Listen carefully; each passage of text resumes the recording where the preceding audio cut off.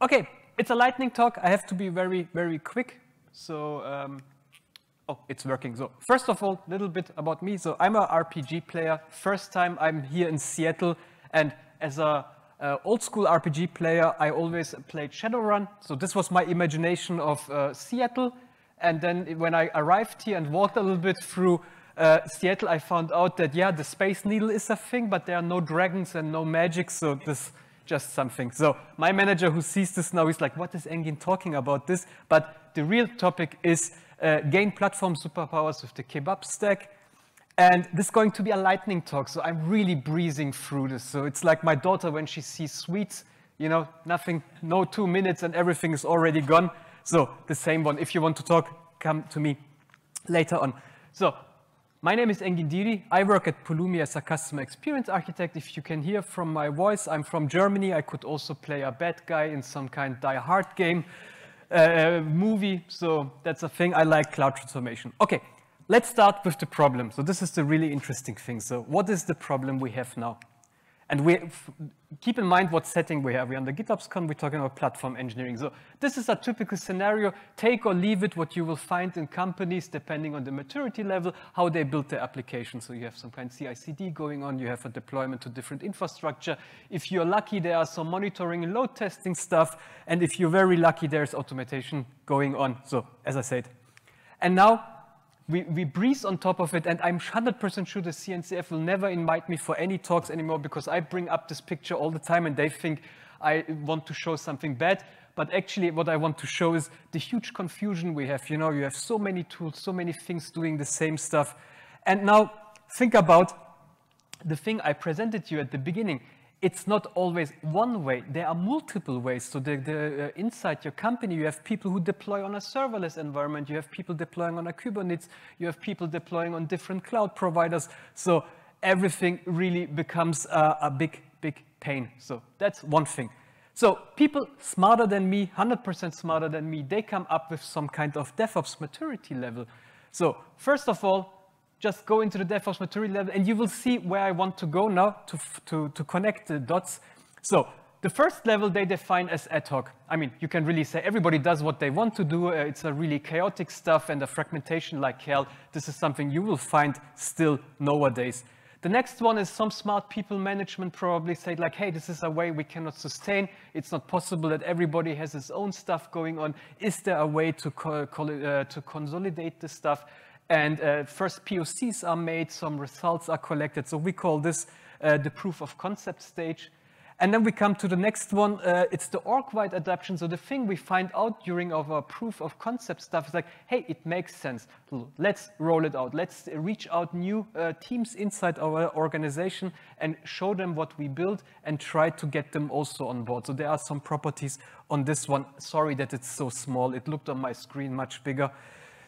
Um, the next point is the sustained and repeatable level. So here we have now implemented some DevSecOps going on and it's uh, uh, the implementations across different teams and there is some kind of governance going on and we have also some kind of tracking and reporting. So think about DORA matrices and so on and so on, uh, which are implemented. And then of course the God mode here we have the, uh, the optimized DevOps. So everything is really working in place, lessons learned, you have a continuous feedback uh, loop going on. And uh, yeah, uh, you can really see the outcome of your DevSecOps thing.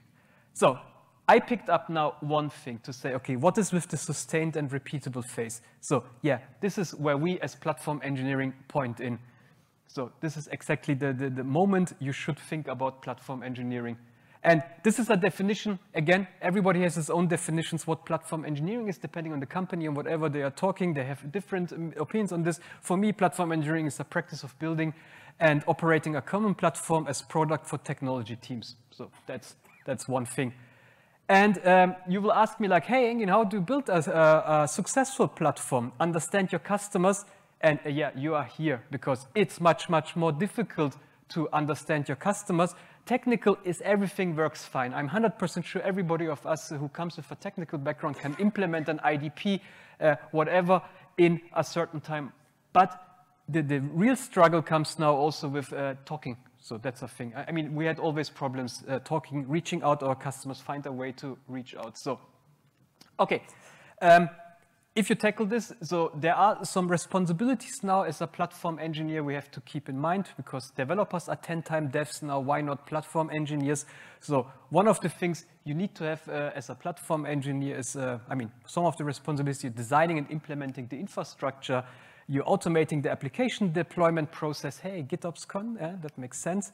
Providing, this is also very important, providing troubleshooting support. So when you start to build your golden paths and you, you announce the golden paths and there is a problem with one of the golden paths you, uh, you, you, you expose for your customers, you have to be uh, also supporting this. So the customers, your internal customers rely on this and say, if I'm going to use the, the golden path for deploy a static web application and there's a problem, I can come to you. This goes all under the uh, infrastructure as a product thing. And of course, there's a lot, lot more, so monitoring performance, staying always up to date. Okay, what are the benefits for the business? Because again, we don't do this because we are an NGO or, you know, we love uh, humans and we want to make everybody happy. Maybe there's this uh, people who think about this, but most of the time there's a business benefit behind all the, the things we are doing. So of course, we reduce the toil of software deployments and development. Um, I don't know if the word toil is used anymore nowadays. I mean, when the SRE stuffs come up from Google, I mean, in my company before, everybody talked about toil. Everything was a toil you know, not even, hey, this is a toil, this is a toil. So I'm not sure if toil is still a thing. Um, improve engineer productivity. This is really important. And of course, uh, provide a consistent, uh, consistency and confidence in your way and help to scale teams. So these are some points. You can add many, many other points. Again, that's a lightning talk. So at the end, we come up something like this with this uh, platform approach. We have our developers who who, uh, who consumes our services. We have our platform engineering team who build the services and they all use this platform. And I pointed some points out which are requirements, I think, for our platform we're going to build. It has to be flexible. It has to be extensible because uh, technology uh, changes and we have to, to also adapt and get new technology in. Composable, which is very important, and cloud agnostic. So yeah, platform engineering. So, um, how much do I have? So um, want to see a reference implementation? That's you all here. So I want to present you the KEBAP stack. Just one thing for the name. So the idea was about this. If you ever been to Europe, for example, uh, kebab is a specific meal you will find most of the time. I had to switch the B to P because it doesn't make sense at the end. So when I presented the name to my European friends, everybody was crazy. They're like, wow, this is the best talk you can ever do from the name. When I did the same with my American colleagues, they're like, what? what is? And nobody understands. So um, probably I will rename this to El Pastor stack. And then I have also a little bit more uh, letters available and uh, also the people uh, across the pond will understand me also what I'm talking about. So what is the KEBAP stack in, in a detail? So let's take out this here from our app delivery team, the platform capability map. So the K stands for Kubernetes. Everything runs on Kubernetes. Kubernetes is our, uh, our control plane. Then we have the external secrets operator for doing all the magic. And external secrets operator is really awesome. You can push, pull, you can push to different clusters. So this thing is really, really cool. Um, we have Backstage, of course. Uh, I love Backstage. Uh, no, no matter other people say about this, Backstage is really a cool thing. And if you have the size you can also spin up some people learning TypeScript. So this is the thing. You will see, uh, maybe you, you see Backstage, like, why should I do this and so on. You're maybe not at the moment at this uh, level to, to adopt Backstage. Uh, Argo, of course, the A stands for Argo, and the P stands for Pulumi. We're using the Pulumi Kubernetes operator to, to manage all the infrastructure, all the stuff people can order on our platform. So that's, that's the thing. So there's uh, the thing and we also use Pulumi to ignite. You will see this in a little bit more detail. As a bonus, Kyverno. So you will ask me, say, hey, Engin, does it make the kebab? So my idea was the K of kebab is two times in, so I'm sorry for this. So the K is double here. Okay, reference implementation. We ignite with Pulumi CLI. We ignite our hub cluster, um, spin up a minimal version of Argo CD and just point this and say, hey, this is all your app of application set or app of apps. Please uh, roll this out, including yourself and full blown with decks and everything you need, and install the, the, the, the missing components into it. So then, yeah, we, we created a fire. Next point is developer one comes in and says, hey, I would like to order a development cluster. So we use, again, uh, Backstage. We log into Backstage. We create a pull request or directly commit in the Git repository where Argo is looking at it. Argo seizes and spin up a vcluster because we want to save money. Second use case is I want a real cluster. Developer comes to the Backstage, selects a, a software template, and then gets also um, uh, Argo sees this. Uh, Backstage creates all the resources, also the Pulumi Kubernetes resource for creating an EKS cluster, and this gets rolled out into our hub cluster, and then the infrastructure gets spin up. And while we're doing this, we, we also uh, register the, the, the, clusters as a spoke as a yeah as a spoke cluster to our hub cluster, so we get also the hub and spoke approach. And for the people who need uh, maybe everything a part of Kubernetes, they can still use Backstage and order a story there, and the Pulumi operator does the same. So this is absolutely Onagi style.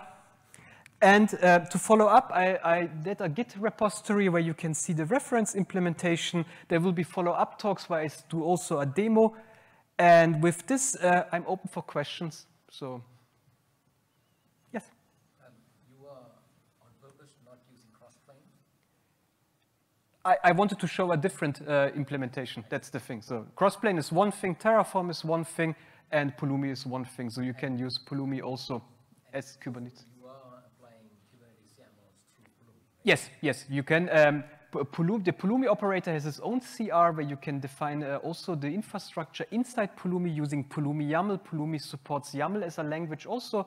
And then you have the, the Kubernetes feeling and the, the GitOps feeling because you do uh, everything via your used uh, stuff without uh, introducing several different uh, infrastructure tools. We had this last time, last week with a customer. They're like, hey, we want to use this tool here and this tool here. I'm like, are you sure you want this split brain situation and you want really support the stuff? So there is a way to do everything in one